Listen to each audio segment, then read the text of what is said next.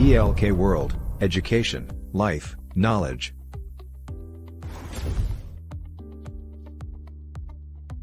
For many years, people have established and operated their own businesses. Some of today's most prosperous business people are those who took a modest idea and grew it into a significant undertaking.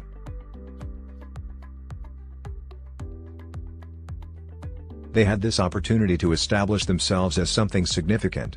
There are many different kinds of businesses, ranging from those that sell products like those in the food service sector to those that provide services to make people's lives easier. Buying a concession trailer and using it as a mobile kitchen has recently become common in the food industry. Having a mobile concession trailer as opposed to a fixed restaurant at a fixed location has a number of advantages. The word mobile in the title of a mobile kitchen is one benefit. A person with a mobile kitchen can attend events and work from various locations rather than remaining in one place. This makes it possible for the business owner to attend highly lucrative events. Traditional stationary restaurants lack the luxury of relocating to a potentially more profitable location. This is unquestionably a benefit of a mobile kitchen over a fixed restaurant.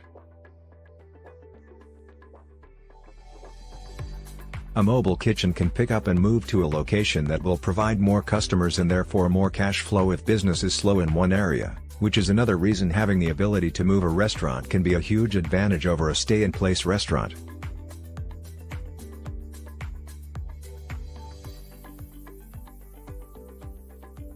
If a restaurant is failing due to its location, such as a sparsely populated area, or its menu because it does not fit with the neighborhood, the owner cannot simply get up and move his business. He needs to come up with a different solution to moving if he wants to keep his business.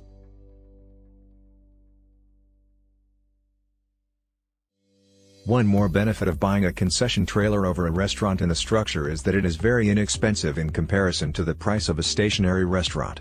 A traditional restaurant may need to raise hundreds of thousands of dollars to get started.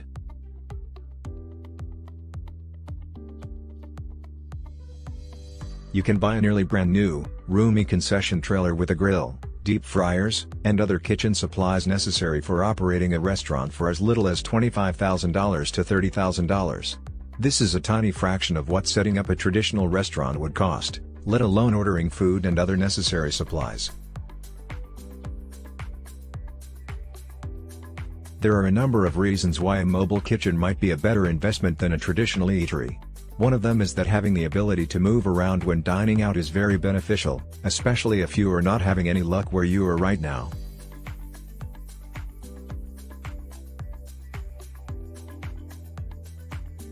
Another factor is that compared to any traditional restaurant you can find, concession trailers are much less expensive to buy, supply, insure, and maintain. Having a concession trailer does not necessarily mean that your business is over. Buying a concession food trailer may be the necessary first step before moving on to buying a traditional restaurant. Find us at